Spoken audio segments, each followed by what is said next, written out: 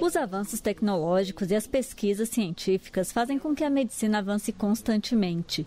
Novas substâncias para o tratamento e cura de doenças estão sempre surgindo. E para não ficar para trás, o Sistema Único de Saúde está sempre analisando novos medicamentos e, quando comprovada sua eficácia, passa a ofertá-los. É o caso da memantina, usado no tratamento do Alzheimer, que passou a ser oferecido pelo SUS em novembro do ano passado. Foi incorporada a é, que é um medicamento para tratamento de Alzheimer na forma de adesivo, que aí evita muito enjoo que os pacientes estavam tendo, e da outra classe também a memantina, que os dois juntos vão, um vai somar o efeito do outro, aí melhorando a qualidade de vida do paciente que tem a demência.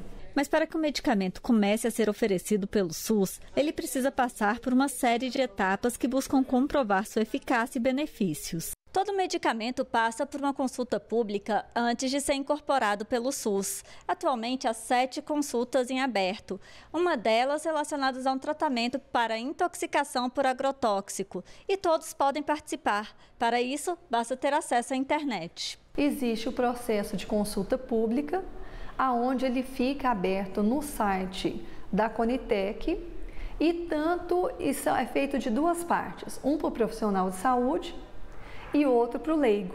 Aí ele pode opinar ainda sobre a incorporação ou não daquele medicamento na lista de medicamentos essenciais do SUS. Qualquer cidadão, por acesso à internet, ele escolhe que formulário ela quer contribuir, porque ele se identifica naquele formulário se é médico, profissional da saúde, cientista, para a gente ter a avaliação da contribuição de forma diferente e então ele se identifica e ali ele diz por que ele está contribuindo e qual é a contribuição que ele tem que, que ele possa dar para que nos ajude a avaliar.